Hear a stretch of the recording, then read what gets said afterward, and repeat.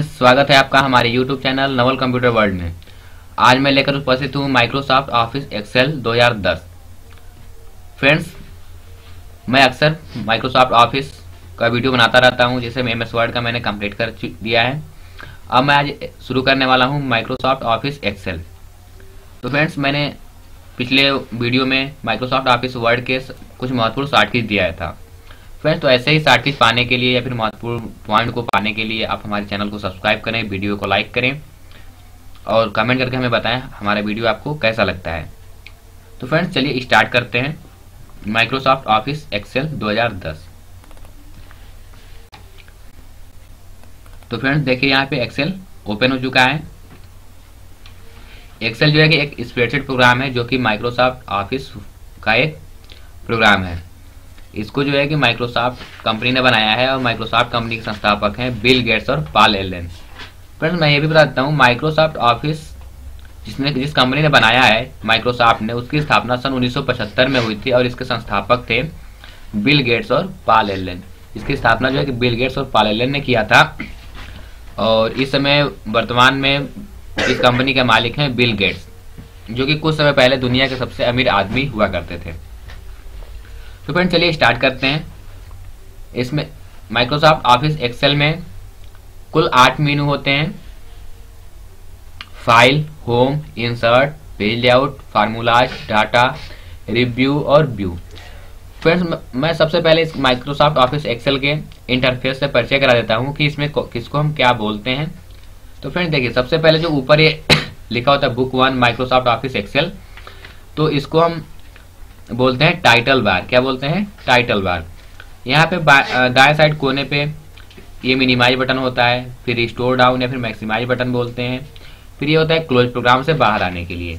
और जस्ट इसका नीचे ही यहाँ पे होता है क्लोज और यहाँ पे रिस्टोर और मिनिमाइज ये काम करता है आपके इस करेंट वर्कबुक के लिए, जबकि ये जो होता है पूरे प्रोग्राम के लिए होता है ऊपर वाला।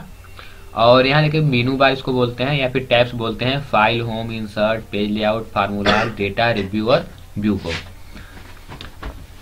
फ्रेंड्स इसमें जो है, ये जो, इसमें बहुत सारे कमांड दिखाई दे रहे हैं, जो पट्टी दिख रही है, इसको हम बोलते हैं रिबन्स हम रिबन्स को शो और हाइड कर सकते हैं। इसके लिए जो है, हम यहाँ से इस पर क्लिक करेंगे तो ये हाइड हो जाएगा, फिर से क्लिक करेंगे शो हो जाएगा।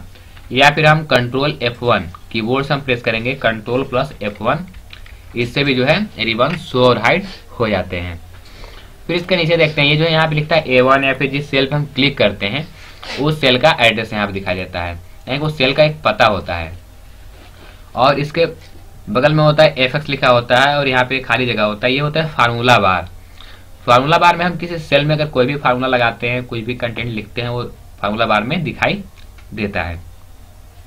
और फ्रेंड्स इसमें जो है, जो ये लाइंस बने हुई हैं, ये ऊपर की तरफ़ A B C D E F तो इन सबको हम बोलते हैं कॉलम हेडिंग इसको क्या बोलते हैं? कॉलम हेडिंग और जो आपके इधर लेफ़्ट साइड में वन टू थ्री गिनती बनी हुई है, इसको हम बोलते हैं रो हेडिंग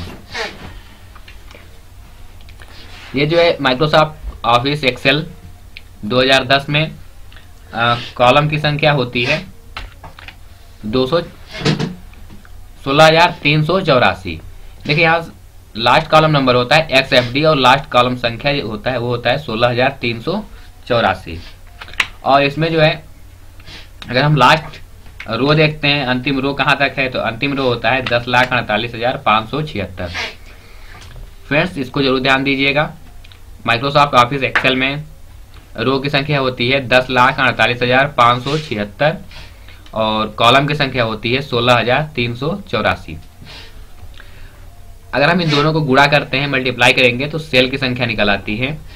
तो इसमें जो है सेल की संख्या होती है लगभग सत्रह अरब, सत्रह करोड़, अंठानवे लाख, उनहत्तर हज़ार, एक सौ चौरासी।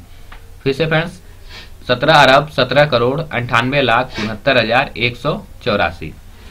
फ्रेंड्स इसमें जो है, जो ऊपर से नीचे जो लाइनें बनी हुई है, ये होता है कॉलम और ऊपर जो नंबर बने हुए इसको हम बोलते हैं कॉलम हेडिंग और जो लेफ़्ट टू राइट लाइनें बनी हुई है, इसको हम बोलते हैं रो और इन इसको मतलब बोलते हैं, जो नंबर पड़ा हुआ है, इसको बोलते हैं रो हेडिंग हम रो को हिंदी में कह सकते हैं पंक्ति और कॉलम को कह सकते हैं स्तंभ।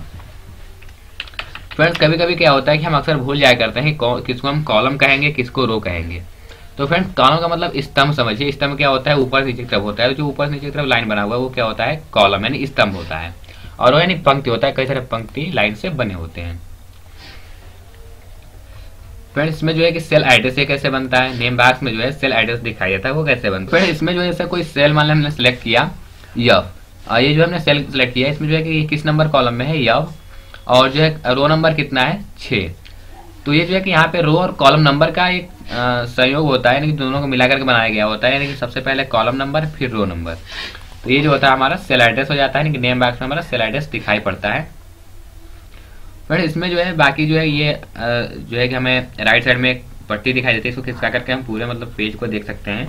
तो ये जो है, इसको हम बोलते हैं स्क्रॉल बार इसको हम बोलते हैं वर्टिकल स्क्रॉल बार और जो नीचे की तरफ़ स्क्रॉल बार बना होता है, ये जो है, यहाँ पे देखिए, ये जो बना हुआ स्क्रॉल बार इसको हम बोलते हैं हॉरिजॉन्टल स्क्रॉल बार और यहाँ जो है ये होता है sheet sheet one sheet two sheet three अगर हमें यहाँ पे, अगर सीट टू पे है, अगर सीट वन पे जाना है तो कंट्रोल पेज अप करके हम जा सकते हैं सीट वन पे। और अगर हम जाना सीट टू सीट थ्री पे तो हम क्या करेंगे? Control page down control page down ऐसे हम अगले सीट पे पहुँच जाएँगे और कंट्रोल पेज अप से पिछले सीट पे पहुँच जाएँगे।